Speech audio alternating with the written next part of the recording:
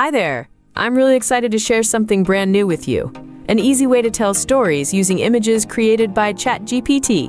Now you can make fun animated stories without spending a lot of money or dealing with complicated tools. With ChatGPT, creating characters and animations has become much simpler. You no longer have to struggle to keep designs consistent or come up with ideas from scratch. Stick around, because I'll also share my personal prompt formulas and show you how to set everything up completely free. This will save you time and make the whole process much less stressful. Here's what we'll cover today, step by step.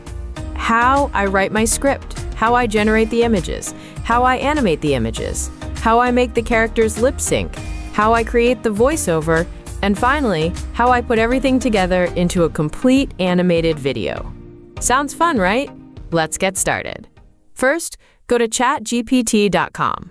On the left-hand menu, click on GPTs, then in the search bar, type Animation Script Builder.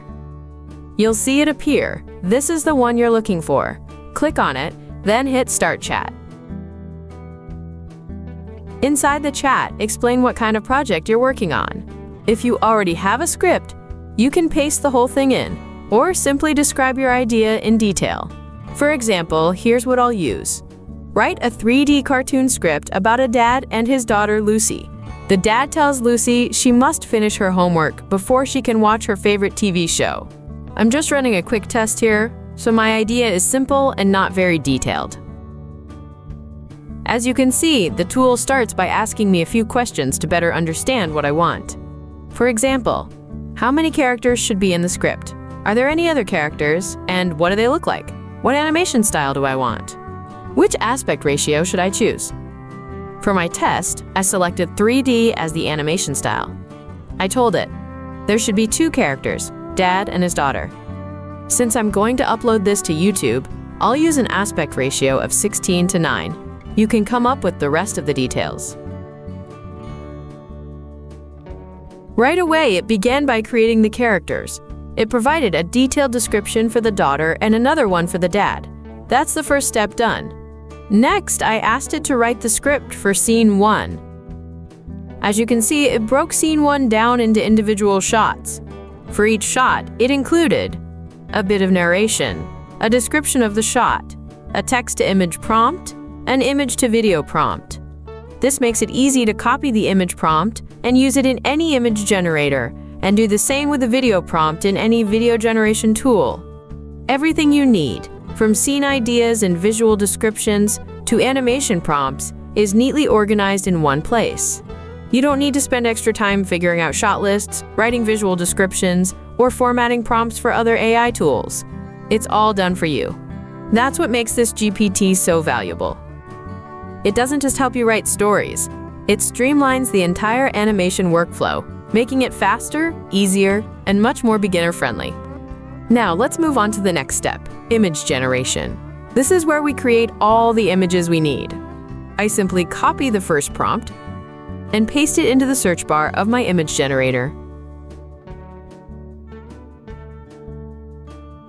Here's the first image it created. Once that's done, I move on to the image for shot 2. Here's what that one looks like. I repeat this process for shot 3, shot 4, shot 5, and so on, until I have all the images for the script. Sometimes, the character design can start to drift and lose consistency. If that happens, the fix is simple. Just re-upload the original image of your character, then copy and paste the prompt for that shot.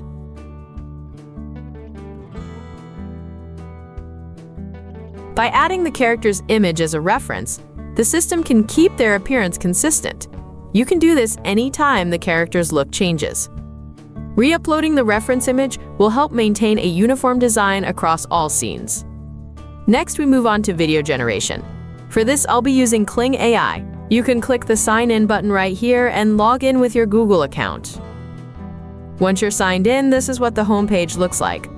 Here, you can go to the video section. You'll see two options, text to video, and image to video. For this tutorial, we'll use the image to video feature in Kling AI. First, upload the image you generated earlier with ChatGPT into Kling AI. Once your image is uploaded, The next step is to add a prompt for Kling AI. Luckily, ChatGPT has already prepared everything I need for shot 1, including the video prompt. I simply copy that prompt, return to Kling AI, paste it in, and click Generate. You can repeat these same steps for each scene. Here are just a few examples of the results. Now we need to take care of lip syncing for the scenes that include dialogue. You can actually do this within Kling AI as well. It's not perfect every time, but I'll show you how it works. Here's one of the shots I generated. Lucy's dad is talking to her. On the shot generated by Kling AI, you'll see a lip sync option. Click on it. I copied the dialogue from the shot and pasted it into the text box. For the voice type, I selected male, and under emotion, I chose angry to match the scene's tone. Once everything is set, I click Generate. Here's the result. Lucy, homework first. Then you can watch your show. I think it's good enough, but I also want to try another platform, Pixverse AI. Pixverse is great for animating stylized images, and it handles lip syncing really well. They also give you 60 free credits per day. Once you're on the Pixverse website, look at the bottom of the screen. You'll see an icon to upload an image. Click it, find your saved images on your computer, and select one. I'll choose this one for now. After uploading the image, you'll see a text box where you can type a short scene description. Or, just like before, you can copy the ready-made video prompt from GPT paste it here, and click Create. After a short wait, your video will be ready. Next, we handle the speech. Click on the Speech tab. You'll see the generated video on the screen with an option to upload your voiceover. Below that is a text box where you can type the dialogue. For now, I'll copy the dialogue from the shot. Here you can select and enable a voice for your character.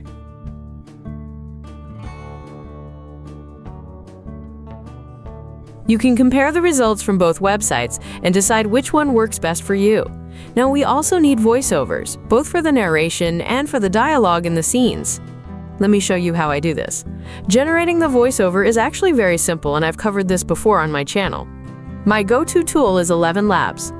I still believe it's one of the best out there. I have ElevenLabs open right now, and I'm pasting my narration directly into it. Now, I'm going to pause here so we can move on to the final stage. The last thing we need to do is bring everything into a video editing tool so we can combine it all and give it a polished cinematic feel. For this, I'll be using CapCut, which is one of the best free editing tools, both beginner-friendly and powerful. I already have all my files uploaded into CapCut, so let's start putting the video together. First, I drag the voiceover narration onto the timeline. Next, I arrange the video clips to match the narration, making sure each scene lines up perfectly for smooth, seamless storytelling. Once that's done, I move on to adding transitions between clips. To do this, click on the Transition option in the top corner of the CapCut interface. Then click Apply to All so the transition effect is added to every clip at once. The next step is to add captions to your voiceover, which can boost both engagement and accessibility. Go to the text section. Tap on Auto Captions. Click Generate CapCut will automatically transcribe your narration and sync the captions to your video. If you want to customize the captions, go to the Template section in the top right corner. You can change the font, color, and animation style to match your video's theme. Finally, let's add some background music. Tap on Audio. Select Sounds to browse CapCut's music library. I typed Kids in the search bar to find child-friendly tracks. Preview the options, then tap the plus icon to add your chosen track to the timeline. Trim the music and adjust the volume as needed.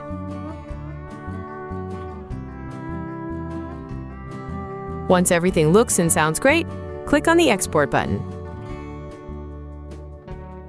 and your video is ready. If you enjoy content like this, be sure to check out my other videos. If you found this helpful, please hit the like button, subscribe to the channel, and turn on the notification bell so you don't miss future uploads. If you have any questions, drop them in the comments below, and I'll see you in the next video.